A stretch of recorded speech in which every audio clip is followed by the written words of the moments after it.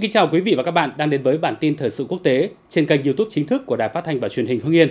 Chúng tôi luôn cập nhật những thông tin mới nhất, chính xác nhất về tình hình quốc tế với những điểm nóng được dư luận quan tâm để gửi tới quý vị và các bạn. Bây giờ sẽ là nội dung chi tiết có trong chương trình ngày hôm nay.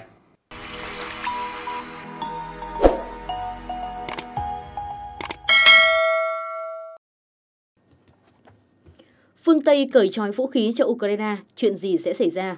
Các biện pháp đáp trả của Moscow sẽ có hiệu lực ngay lập tức khi phương Tây đồng ý cho Ukraine dùng vũ khí viện trợ tấn công sâu vào lãnh thổ Nga.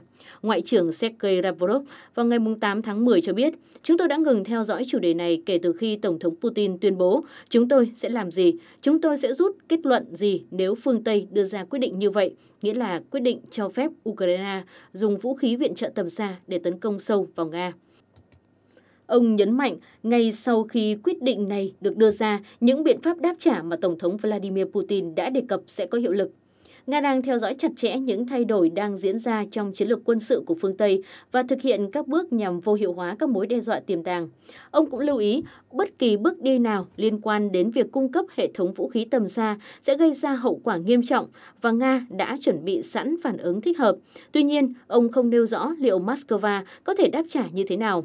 Cuối tháng trước, Tổng thống Putin cảnh báo bất kỳ cuộc tấn công nào của Ukraine bằng tên lửa tầm xa do phương Tây cung cấp sẽ bị Moscow coi là là do NATO trực tiếp tiến hành. Chủ nhân Điện Kremlin tiết lộ, Moscow đang trong quá trình điều chỉnh học thuyết hạt nhân hạ ngưỡng sử dụng hạt nhân. Theo đó, một cuộc tấn công tầm xa của Ukraine bằng vũ khí phương Tây sẽ bị coi là vượt lằn danh đỏ. Trước đó, Tổng thống Putin cũng cảnh báo Nga có thể trang bị cho đối thủ của phương Tây những loại vũ khí tương tự để đáp trả. Ukraine đang hối thúc phương Tây nới lỏng hạn chế cho phép quân đội nước này sử dụng vũ khí tầm xa được viện trợ để tấn công sâu vào Nga. Đến nay, phương Tây vẫn chia rẽ về đề xuất của Kiev. Nhiều nước lo ngại điều này sẽ kéo theo một cuộc xung đột trực tiếp với Nga.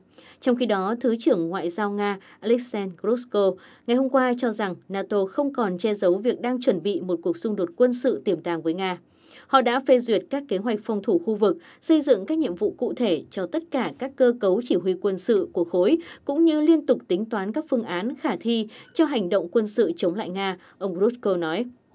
Ông dẫn chứng cuộc tập trận Steadfast Defender, cuộc tập trận lớn nhất của NATO kể từ cuối Thế chiến thứ hai. Cuộc tập trận diễn ra gần biên giới Nga trong nửa đầu năm nay với sự tham gia của khoảng 90.000 binh sĩ từ 32 quốc gia thành viên NATO.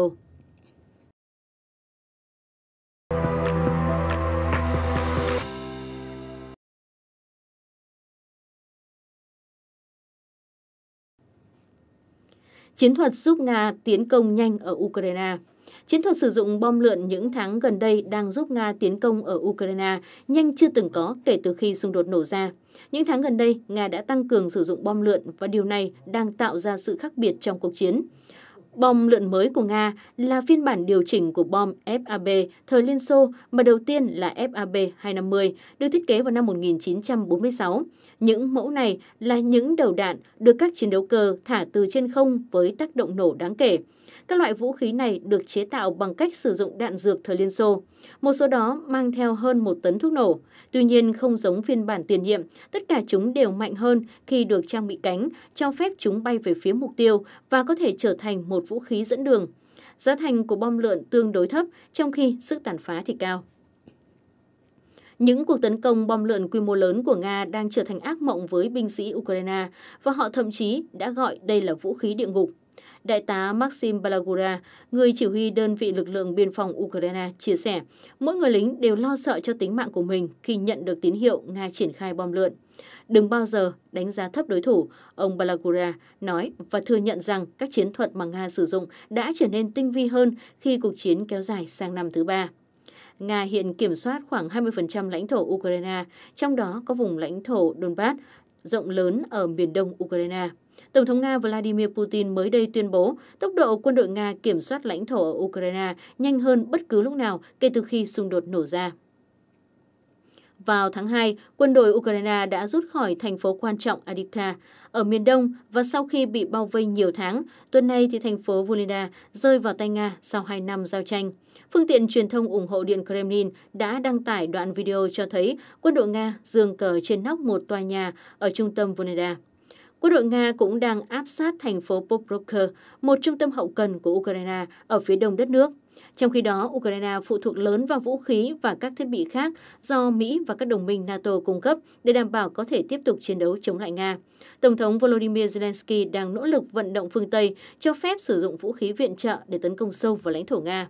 Ông lập luận nếu Ukraine không có sự hỗ trợ bổ sung và khả năng nhắm mục tiêu vào các cơ sở cất giữ và phóng vũ khí của Nga, thì Moscow có thể củng cố việc chiếm giữ lãnh thổ Ukraine và tiếp tục tiến về phía tây đất nước, tới biên giới với Ba Lan, một thành viên của NATO.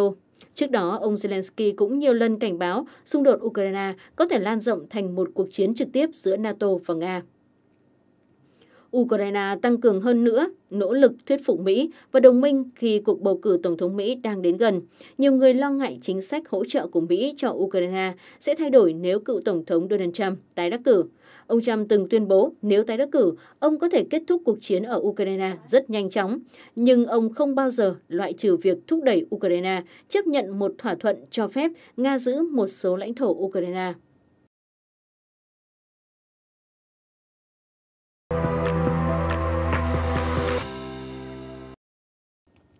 3.000 quân Ukraine nguy cơ bị bao vây ở Donetsk. Nga tiếp tục tuyên bố giành thêm lãnh thổ tại Donetsk trong khi áp lực đang ngày càng gia tăng lên Ukraine ở mặt trận miền Đông. Bộ Quốc phòng Nga hôm 8 tháng 10 cho biết nhóm tác chiến Vostok đã giành quyền kiểm soát làng Zolotea, Liva ở Donetsk và Ukraine đã mất tới 115 binh sĩ ở tại khu vực này. Các đơn vị của nhóm Vostok đã cải thiện vị trí chiến thuật của họ và giành quyền kiểm soát ngôi làng. Các đơn vị đã tấn công vào đội hình của Lữ đoàn Bộ binh Cơ giới 72 và Lữ đoàn Bộ binh Cơ giới 58 của lực lượng vũ trang Ukraine, cũng như của Lữ đoàn Phòng thủ lãnh thổ 117 và 128 gần các khu định cư. Các lực lượng Nga cũng đã đẩy lùi cuộc tấn công của một nhóm xung kích Lữ đoàn Cơ giới số 72. Trong khi đó, Nga nói rằng nhóm tác chiến Yuk của nước này đã loại khỏi vòng chiến đấu 855 binh sĩ Ukraine trong ngày qua. Nhóm Yuk cũng đã tiến sâu hơn vào phòng tuyến của đối phương và kiểm soát thêm một làng ở Donetsk. Thông báo của Nga cho biết Ukraine đã mất khoảng 495 quân nhân và một xe tăng trong các cuộc đụng độ với nhóm chiến đấu Center của Moscow, trong khi nhóm chiến đấu Zapad đã đẩy lùi hai cuộc phản công và loại bỏ hơn 425 binh lính Ukraine. Tình hình chiến sự ở Donetsk đang trở nên đầy thách thức đối với Ukraine khi họ liên tiếp mất lãnh thổ vào tay Nga suốt thời gian qua, trong đó có những khu vực chiến lược mà lực lượng Kiev đã bám trụ vững chắc trong nhiều năm. Xu hướng này cho thấy áp đảo của Nga về cả binh sĩ lẫn vũ khí.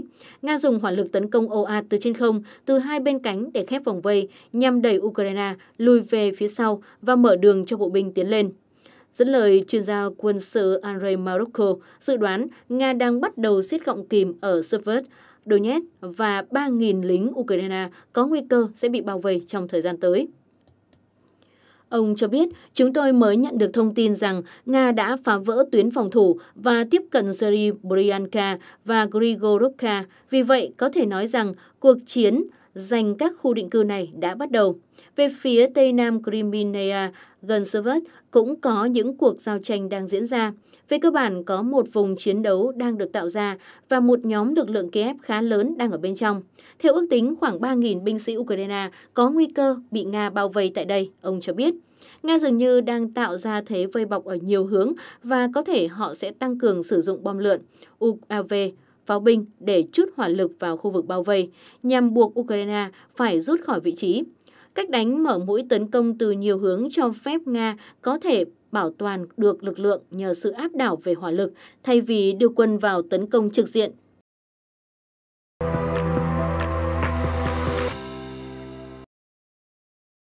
Nga đã hoàn toàn mất kiểm soát Sukulio. Mặt trận quốc, quân đội Nga đã giành lại được những lãnh thổ nhỏ ở phía Bắc cũng như ở Lyubimovka. Tại Kharkov, lực lượng Moscow đã chiếm lại một số vị trí sau khi nhiều đợt phản công vào nhà máy tổng hợp Volchan. Ở Kupian, quân đội Nga chiếm được nhiều vị trí xa hơn ở phía Bắc Pichan, đồng thời đang tiến hành các cuộc tấn công về phía Borova. Các nguồn tin Ukraine xác nhận những hành động tấn công này nhằm mục đích bảo vệ sườn phía nam của lực lượng Moscow ở Pisken. Theo một số báo cáo, quân đội Nga đã hoàn toàn kiểm soát Sukurino trên mặt trận Poproker và đã có mặt tại làng Novosenidivka. Tuyến đường tiếp tế phía nam của quân đội Ukraine hiện cũng đang bị UAV Nga tấn công nặng nề. Về phía Uneda, quân đội Nga đã chiếm được làng Zolota Liva. Điều này được thể hiện bằng các video được định vị địa lý. Bước tiến này mở ra thêm cơ hội cho lực lượng tấn công ở Novoselivka cũng như Velika Novoselivka